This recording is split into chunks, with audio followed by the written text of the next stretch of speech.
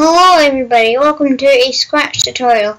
Today we will be making a cookie clicker game. A, a very cookie clicker related game. Now, the first thing you'll do is paint a new sprite and we'll make it a brown circle. And so make yourself a brown circle and then and then click on this little rainbow plot here and then make it a bit dark and then and then try and find a nice little chocolatey brown. I feel this will do and then just do and then um and then like come on hang on a sec um, why is it not circle aha right? And then just put some little um chocolate chips in and you'll have made your cookie.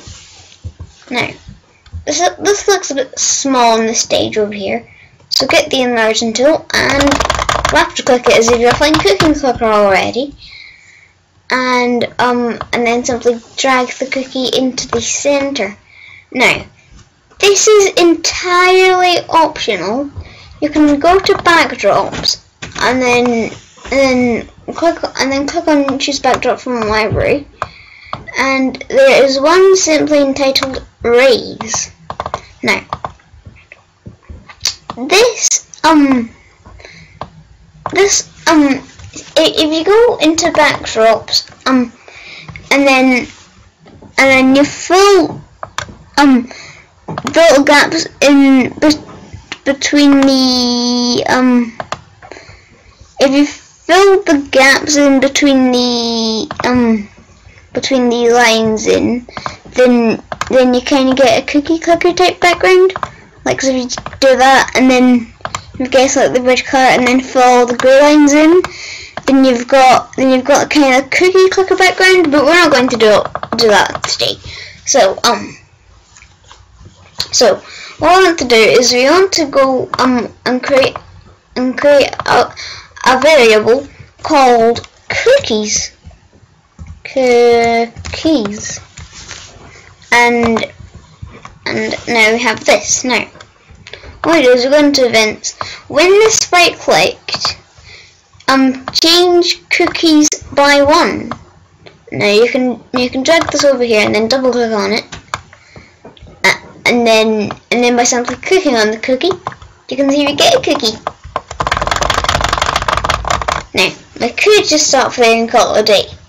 But, what, what if I want to reset my progress? Well, I can just do when, when space key pressed, um, um, um, set cookies to zero. But, but we don't want space, we can, we can do R for reset. Um, and then so, so now I can click it, I can click the cookie a few times, and if you feel not happy with that, I can press R, and it all goes away. Now, we're not just going to stop there though. Upgrades. Every good cookie clicker clone needs some form of upgrades. So, let's create ourselves a new um sprite. Um, well, um, what we'll call the sprite, we'll, we'll make um, we'll, we'll wait, we don't need this. We'll that, and then um, and then paint yourself a cursor. Um, um. See, the good thing is this isn't actually pixelated, and I'll, I'll explain why in a second. And then get the fill tool and fill that in. And now what we want to do is you want to get this, and you want to do one space key pressed, um, um, what was I, where is it, um, change, change, um, pixelate for 25. Now, if we press the space key a few times, this you can see it's pixelated a few. If if you're not happy with that, can you just right click?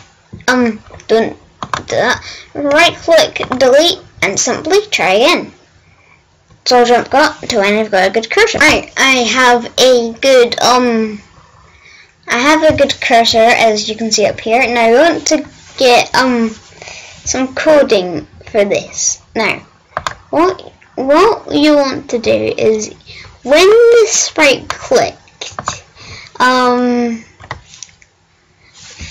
um, if then so go into operators, go into the green operators section, and then do, and then go into data and drag those cookies into here.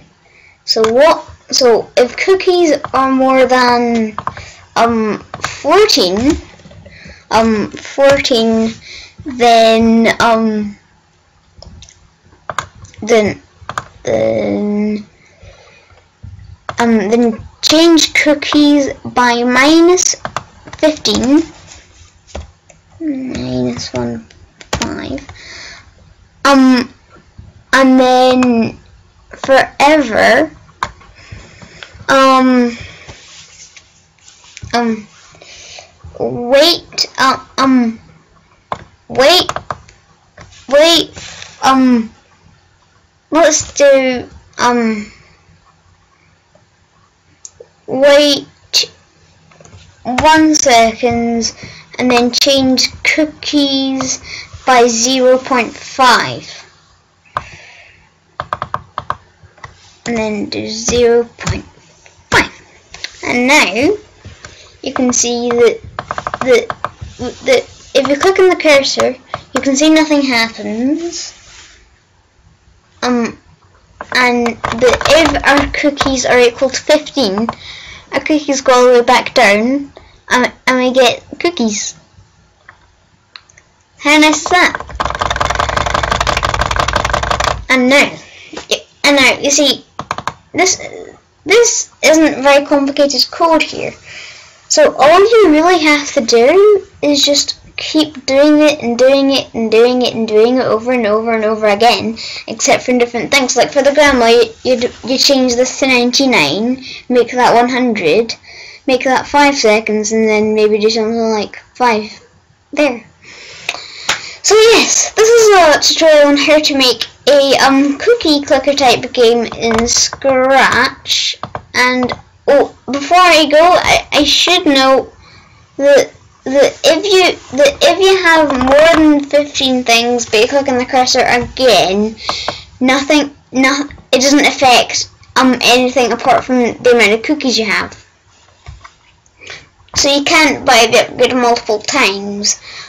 I probably will come back to this tutorial at one point and redo it so so that this can be so the action can be performed but for now you're stuck you're stuck with my little rubbish tutorial here so anyway, I hope you have enjoyed this tutorial, I hope you found it helpful, and I shall see you guys in the next episode. Bye!